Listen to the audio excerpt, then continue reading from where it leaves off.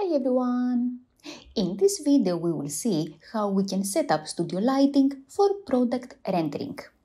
If you want to download the 3ds Max file so that you can use my setup both for V-Ray and for Corona, please visit my site margaritanikita.com and go to the free scenes menu.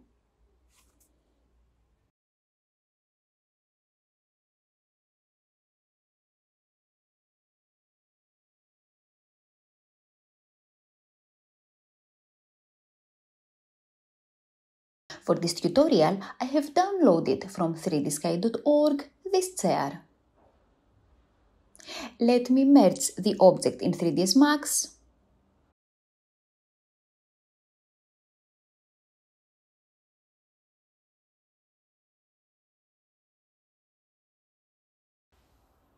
And keep only one of the chairs.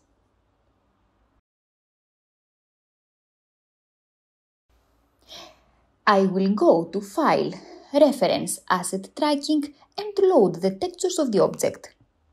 If you don't know how to use the asset tracking, please check the video I have uploaded on this subject.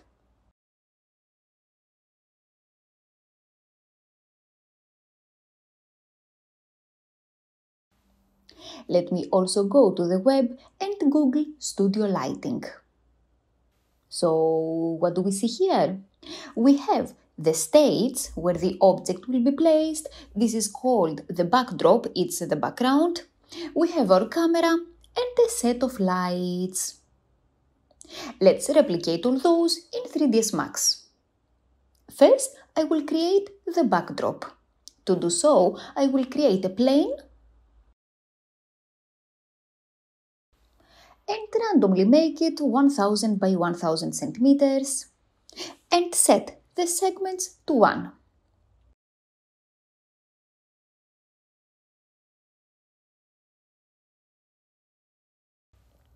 Then I will add an edit poly to the plane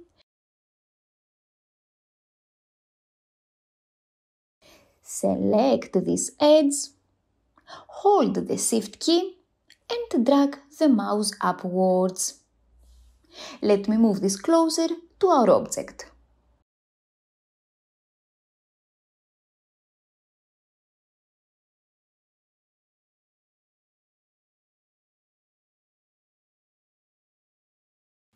If we go back to the reference image, you see here that the backdrop is curved. To do so, select this edge and click on the chamfer settings. Increase the size.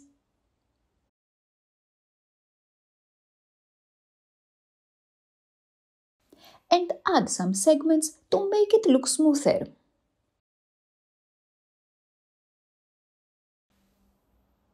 Just to be sure, we can also add a Turbo Smooth modifier.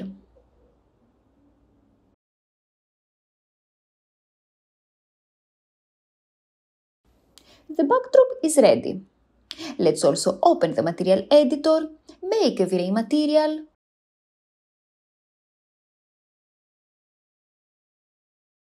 set it to white and apply it to the backdrop.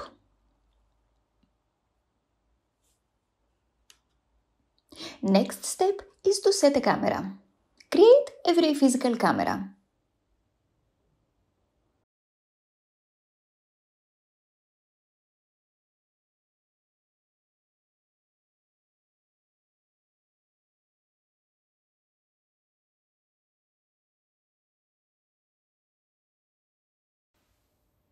I will enable the automatic vertical tilt so that I can set the target lower than the camera without creating a distortion.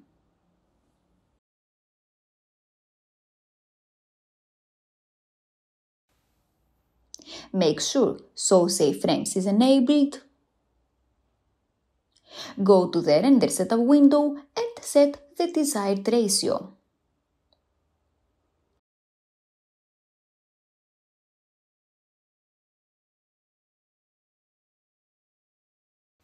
Then make any necessary adjustments to the camera settings and position until you are satisfied with the result.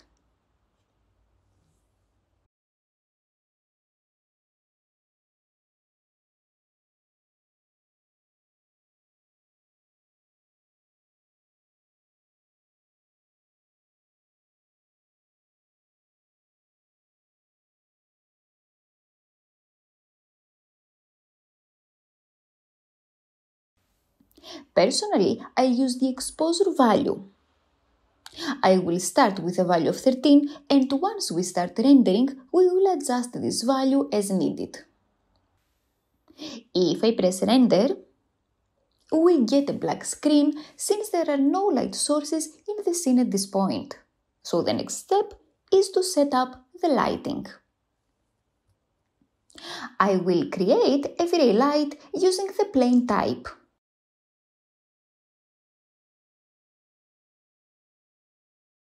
And I will make it approximately 100 by 100 centimeters. And I will rotate it so that the arrow faces the object. I usually set it parallel to my camera, but there is not a right or wrong position. It all depends on the direction you want the shadows to have. And let me also elevate it. I will use the interactive method so that while our object is being rendered, we can continue working on the scene. So I will click on the Start IPR button.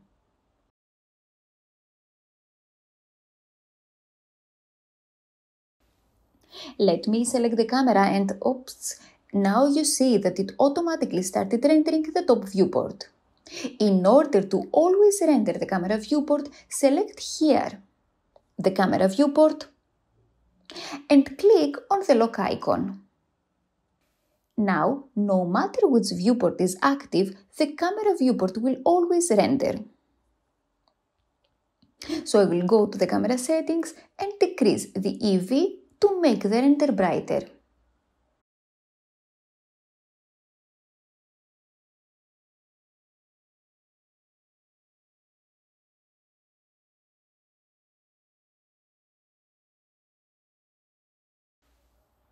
Let me also go to the Render Setup window and to the Render Elements tab and add the V-Ray Light Mix and the V-Ray Denoiser. Let's now see a few things on the light we have placed so far. What we see here is that the shadows are very diffuse, they are not well defined.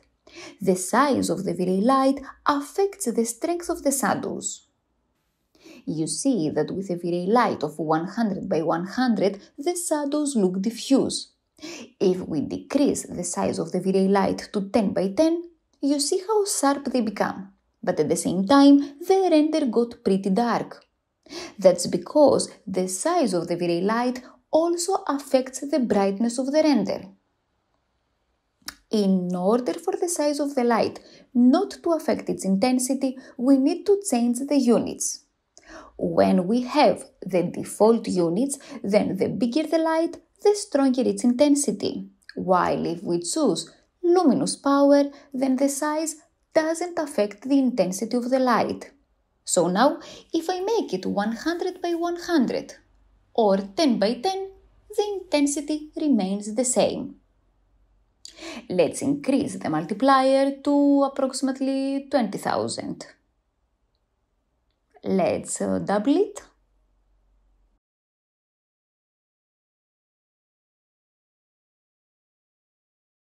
And go even higher.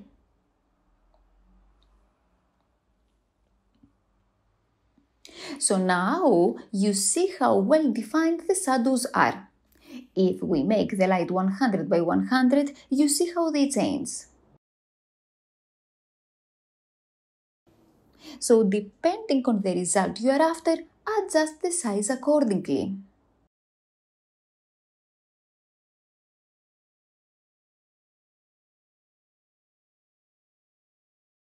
For now, we only have one light casting on our object and this light creates some harsh shadows on this side of the object. This is why we need to place one more light from the opposite side. The first light we have placed is our main light, so let me rename it. I will make a copy of this.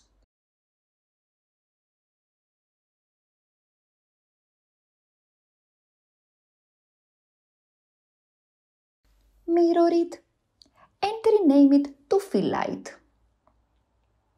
This light is partially placed in front of our camera so we see its shape as a black plane. In order for the shape of the light not to be visible, we need to go to the light settings and to choose invisible. Moreover, let's go to light mix. For this list to get updated, we need to stop the interactive rendering and restart it. So now in our list we see the main light and the fill light. Let me turn off the main light for a while.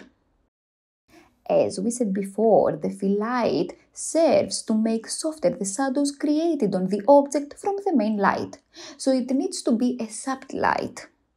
First, we need to increase its size so that it doesn't create well-defined shadows and then we need to decrease its intensity.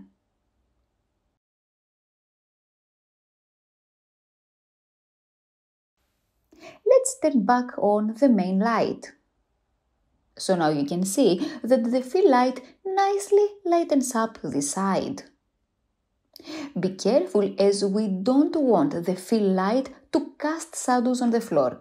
The shadows must all come from the main light, otherwise it will look weird.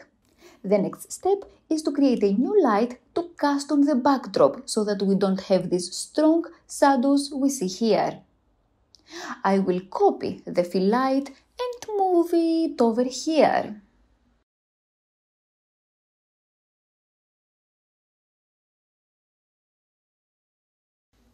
I will rotate it to face the backdrop and I will test the intensity of the light until I am satisfied with the result.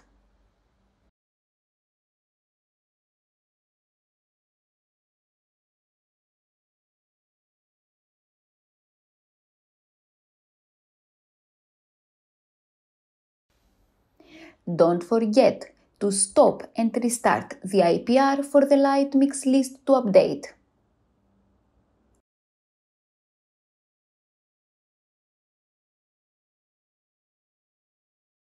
To make our image brighter, we can either adjust the EV of the camera or go to the Layers tab and add the exposure layer. And then adjust the exposure, the highlight burn, and the contrast. These are basically the three lights we need to set. Apart from these, there is also one more light called rim light. Let me Google it. This light is placed behind our object and its purpose is to expose the outline of the object with light. Let's create a copy of the backdrop light and place it behind our object.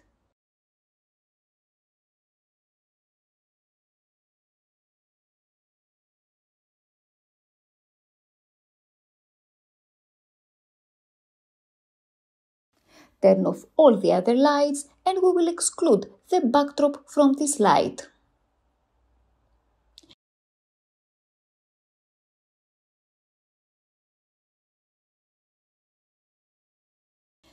Uh, sometimes there is a bug and although I have excluded the backdrop, it still casts light on it. So I will delete the backdrop and press undo to recover it. Now it's fine. You should play around with the position of this light and its intensity until you are satisfied with the result.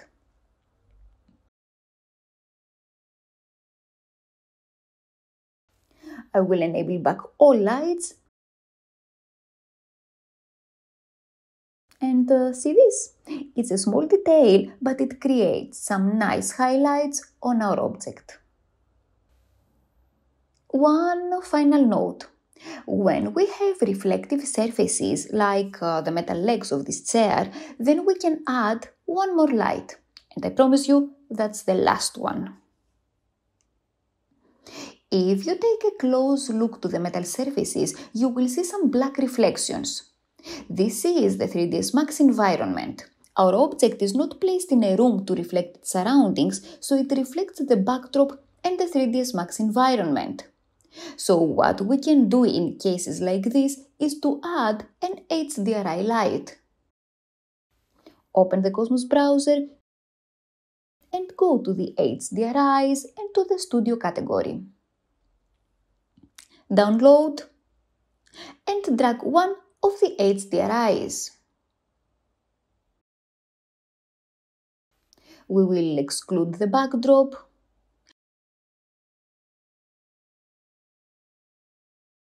So now you see that the reflections turned into white, but our render also got much brighter.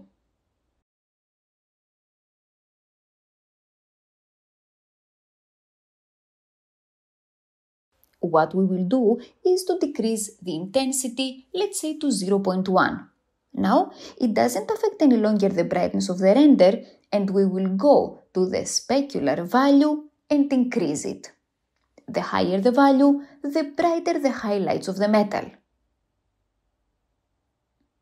That's all on how to set up studio lighting for product rendering. If you are using the Corona renderer, the steps are exactly the same. Where you see V-Ray lights, you will create Corona lights using the plane type. Thanks for watching. I will see you all in my next video.